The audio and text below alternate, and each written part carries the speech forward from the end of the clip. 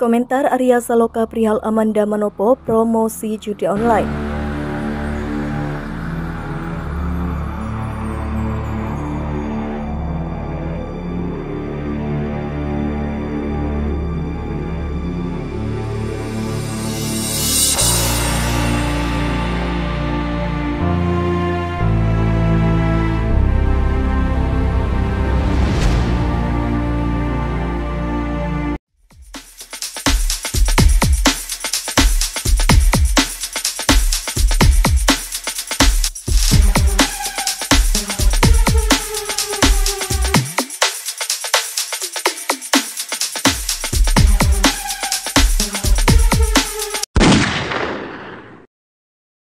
Beredar kabar yang menerasikan seolah Arya Saloka memberikan komentar terkait Amanda Manopo yang tersandung kasus dugaan promosi judi online.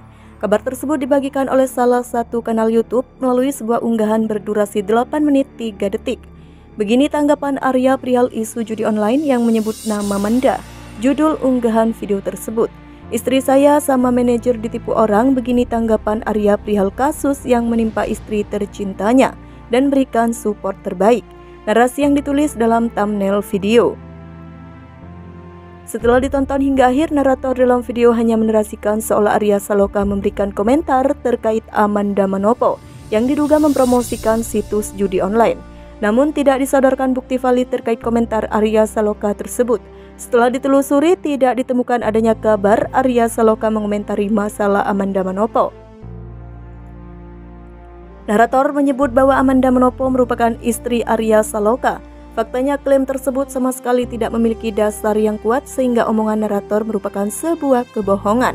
Selain itu, narator hanya membacakan ulang fans Amanda Manopo yang berkomentar terkait kasus promosi judi online.